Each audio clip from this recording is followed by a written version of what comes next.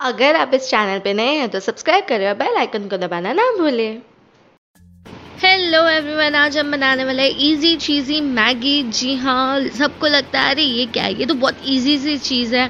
हम बना देंगे तो रूटीन है। रूटीन नहीं होता, कोई भी चीज़ ईजी होती है। उसमें कुछ ट्विस्ट ला लो तो अमेजिंग बन जाता है। तो अगर आपको ये ट्राई करना है, ये थोड़े ट्विस्ट के साथ बन रहा है तो पूरा वीडियो एंड तक देखना क्योंकि बीच बीच में मेरे थोड़े अलग अलग टाइप ऑफ़ चीज़ें जो मैं एक्सपेरिमेंट करके एक बेस्ट चीज़ बनाती हूँ, वो आज मैंने आपके लिए पेश की है।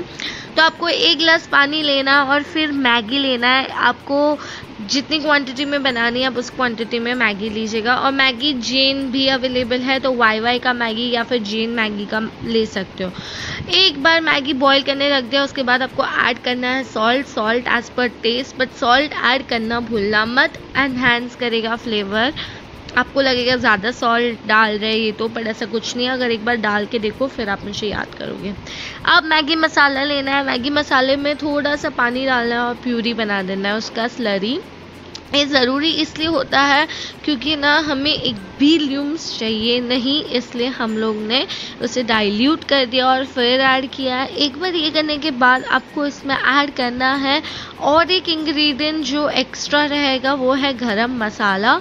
जी हाँ गरम मसाला आप वन स्पून जितना ऐड कर सकते हो। अगर आपको ज़्यादा तीखा नहीं पसंद है तो ठीक है, थोड़ा कम कर देना। फिर वापस इसमें थोड़ा सा सॉल्ट ऐड कर देना, एकदम पिंच ऑफ़ सॉल्ट और इसे अच्छे से स्टर कर देना। एक बार ये स्टर हो जाए, फिर उसे कुक होने दीजिएगा और उसका पूरा पानी उड़ने देने का। फिर अब लेंगे एक पैन एक पैन में लेंगे हम बटर बटर हम अच्छे से इसे मिक्स कर देंगे। अगर आपको बटर नहीं खाते हो नो वरीज तो फिर आप घी भी यूज़ कर सकते हो। It is up to you अगर आप घी यूज़ कर रहे हो तो दो चम्मच यूज़ करना। अगर बटर यूज़ कर रहे हो तो छोटा सा क्यूब यूज़ करना। ठीक है? उसके बाद हम ऐड करेंगे मैदा। अगर आपके पास मैदा नहीं है या आप मैदा नहीं खाना चाहते हो, कोई प्रॉब्लम नहीं है, आप गेहूँ का आटा भी यूज़ कर सकते हो।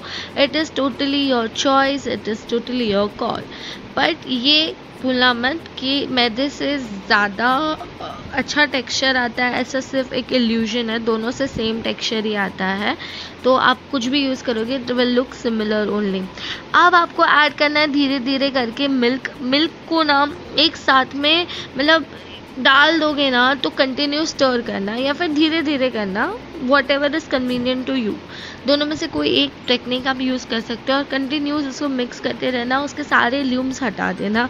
एक बार ल्यूम्स हटने के बाद आपको ऐड करना है सीजनिंग्स जो हम सब डालते हैं वो सीजनिंग्स आपको सीजनिंग में डालना है अगर आपके पास ऑरिगेनो चिली फ्लेक्स है तो आप वो भी डाल सकते हो, या फिर आप डाल सकते हो pinch of garam masala add oregano add salt और फिर आप यूज़ कर सकते हो ब्लैक पेपर ऑल्सो वो आपके विश है.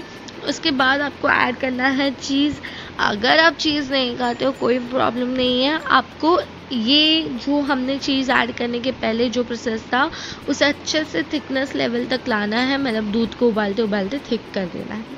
ठीक है? उसके बाद हमें ऐड करने हैं vegetables vegetables whatever is your favourite vegetables आप यूज़ कर सकते हो। हमने यहाँ पे यूज़ किया है बेल पेपर्स बेल पेपर्स अच्छा है डाइट के लिए भी and people who are doing diet जो लोग डाइट कर रहे हैं, वो लोग चीज़ नहीं खाते या कुछ नहीं खाते तो मैंने उनके सारे सब्सटीट्यूट्स बोल दिए तो आप वो सब कर सकते हैं।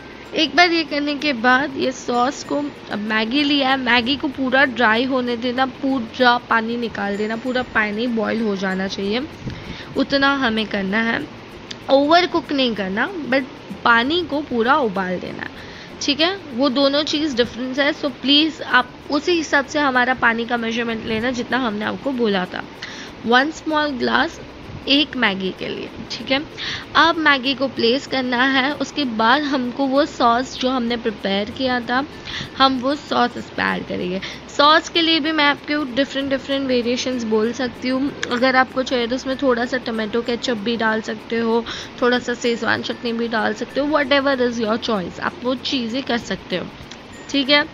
एक बार ये आपको चीज़ ने इस पर डाल दिया आपने, उसके बाद आपको ऐड करना है फिर से मैगी। और हाँ और एक चीज़ ध्यान में रखना आप लोग, बिल्कुल भी मैगी या सॉस, कोई भी चीज़ ओवर कुक हो गई तो बहुत ख़राब आएगा टेस्ट मज़ा नहीं आएगा। तो ध्यान से कुक करिएगा, सबका timing hardly two two three minutes लगता है और मैगी को फाइव टू एट मिनट्स लगता है। ठीक है, आप देख सकते हो हमारी मैगी बिल्कुल भी ओवर कुक नहीं हुई है। और मसाला डालने का रीज़न ये है, गरम मसाला वो।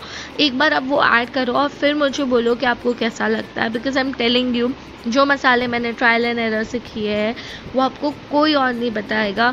आप लोग को टेस्ट भी अच्छा लगेगा और एनहेंसमेंट मिलेगी और बहुत मज़ा आ जाएगा। आई एम टेलिंग यू ठीक है, अब ये सॉस वापस से हम इस पर डाल रहे हैं और उसके बाद आपको इस पर चीज़ डालना है। अब आप रेडी इसे इंस्टेंट सर्व करने वाले हो तो आप ऐसे के ऐसे सर्व कर सकते हो। अगर आप इंस्टेंट सर्व नहीं कर रहे हो और ये बोल बना के रखा है तो आप इसे माइक्रोवेव कर सकते हो फॉर वन मिनट एंड पूरा हॉटनेस आ जाएगा और चीज़ भी मेल्ट हो जाएगा। अगर आपको चाहिए इस पर और कुछ करना है तो आप इस पर डाल सकते हो। पेपरिकाज और oregano but it is totally optional आपको अच्छा लगता है तो आप कर सकते हो, अगर आपको अच्छा नहीं लगता it's fine thank you for watching